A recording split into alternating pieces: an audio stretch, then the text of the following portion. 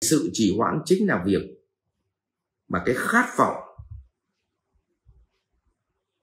trong con người em nó quá bé nó thấp. Và em không thấy đau khổ vì thất bại.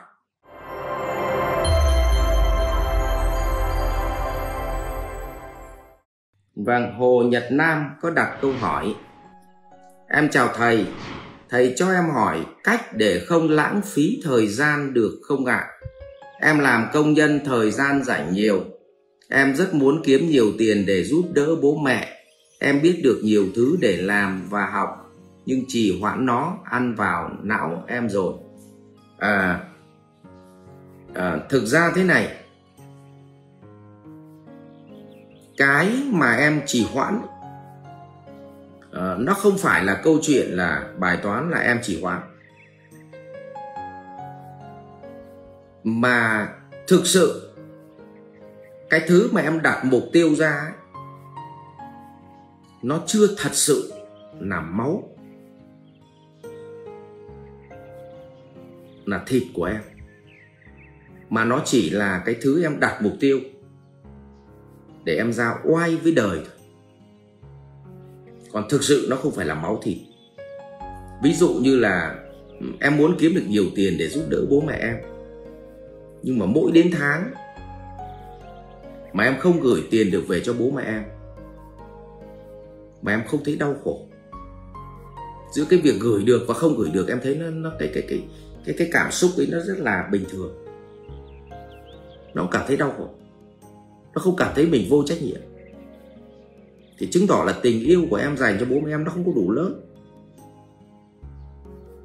Hoặc là em cho rằng những đồng tiền gửi về đối với bố mẹ không quan trọng vì ông bà không có mình vẫn sống đấy thôi. Nhưng mà thực ra em không có trách nhiệm. Em không cảm thấy đau khổ với bản thân mình. Và em cho rằng cái việc đấy nó bình thường. Cho nên em mới chỉ hoãn được còn nếu mà đằng sau em mà có một thằng nó vác dao nó chém em mà em chỉ hoãn nó chém chết em, thì làm sao em chỉ hoãn được?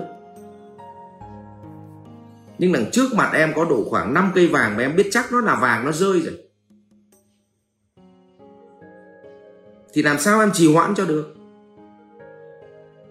Vậy thì sự trì hoãn chính là việc mà cái khát vọng trong con người em nó quá bé nó thấp và em không thấy đau khổ vì thất bại.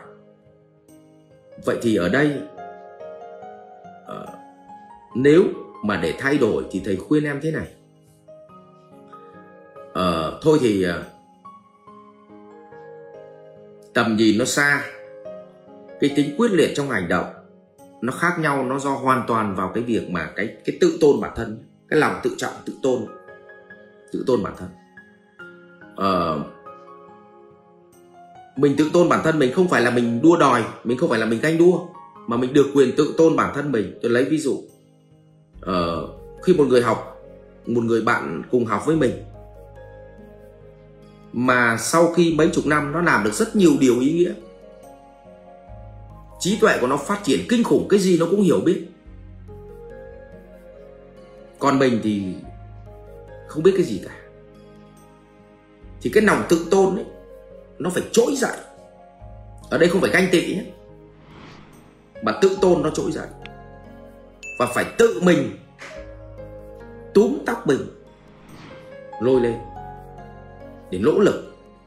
Không phải để kiếm được nhiều tiền hơn, cũng không phải để vượt qua thằng bạn mình, mà để vượt qua chính mình. Cho cái lòng tự tôn. Vì vậy, mỗi một thời khắc mà em trì hoãn, hãy nhớ đến cái khát vọng mà em đặt ra.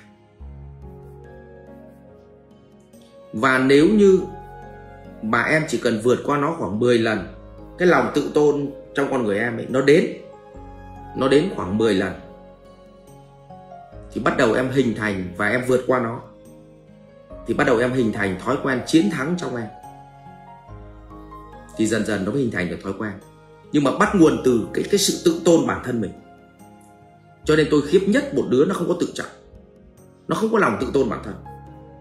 Và ngay kể cả dân tộc Việt Nam bây giờ cũng đang bị dính mắc cái này nó là văn hóa của cả một dân tộc nữa. Nó không có lòng tự tôn dân tộc cái số lượng đấy ít lắm.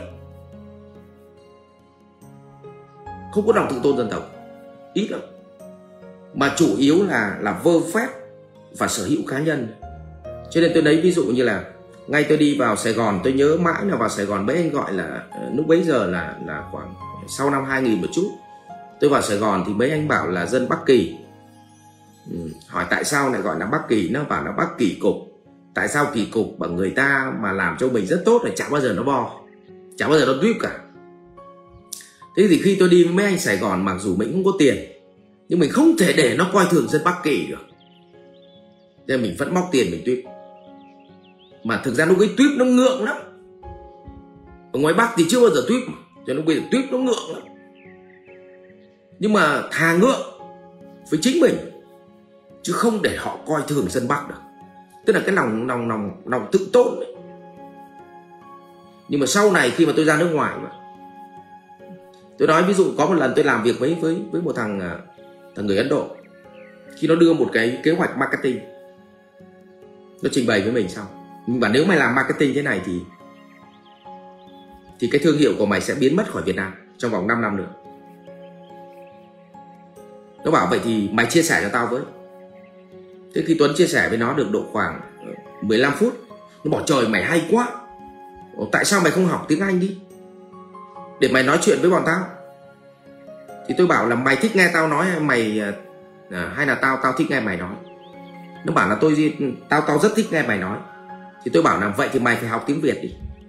Cho nên cuộc nói chuyện hôm nay kết thúc ở đây. Và lần sau mày phải mang phiên dịch đến và không dùng phiên dịch của tao nữa. Nó bảo vậy thì, thì tao trả tiền phiên dịch cho mày ngày hôm nay tôi bảo không được vì mày láo với mày láo với tao rồi. Ờ, mày làm cho tao không hài lòng rồi. Thì tóm lại là mày cần phải có một cái lịch khác và mày mang mày mang uh, phiên dịch đấy tức là cái cái cái lòng tự tôn dân tộc nó chạm vào lòng tự tôn dân tộc. Không mày đến Việt Nam tao cơ mà. Mày phải học văn hóa của Việt Nam tao chứ. Đấy thì tôi nói ví dụ như vậy. Thì thì trong một con người bạn phải có lòng tự tôn chính với mình. Ít nhất là với chính mình bước ra ngoài đời thì bạn còn cái chữ họ ở đấy. Ví dụ như tôi là chữ họ ngô thì ít nhất là tôi còn phải cái cái tự tôn của dòng tộc. Tự tôn của dòng tộc. Xong bước ra khỏi cái quê hương Nam Định thì tôi còn phải có tự tôn của cái cái, cái dòng máu học tập của dân Nam Định. Nhưng bước chân ra khỏi Việt Nam thì làm việc với bạn bè quốc tế tôi phải có tự tôn và có lòng tự hào vì tôi là người Việt Nam. À, thì đấy là những cái thứ mà trong mỗi con người phải phải nuôi dưỡng được cái lòng tự tôn. Và ngày nào cái lòng tự tôn của mình nó biến mất thì ngày đó chính là lúc mình đã chết.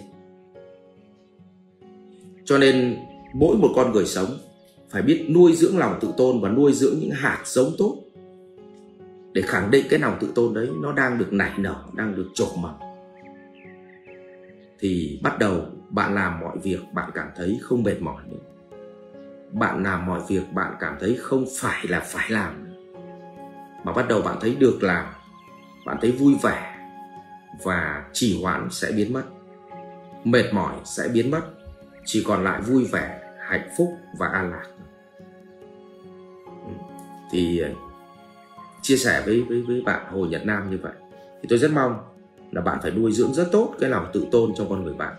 Ít nhất mình không tôn trọng mình mình cũng phải tôn trọng cái họ của mình. Mình không tôn trọng được cái họ của mình thì mình phải tôn trọng. Là cái quê hương mình chứ. Cái quốc gia mình sống chứ. Không chứ không bao giờ được quay lại ném đá. Ừ. Rồi và hy vọng rằng là uh, cái cái cái nội lực cái lòng tự tôn cái hạt giống tâm hồn đấy nó được đánh thức nơi bạn. Và bạn sẽ không lãng phí thời gian sống bằng một hành vi rất là thất bại đó là chỉ hoãn. Rồi cảm ơn bạn dù sao bạn đã nhận ra điều này thì có nghĩa là bạn đã bắt đầu muốn thay đổi nó. Và thiếu một chút tự tôn nữa thôi thì bạn sẽ có động lực để bạn bước đi và ngừng trì hoãn.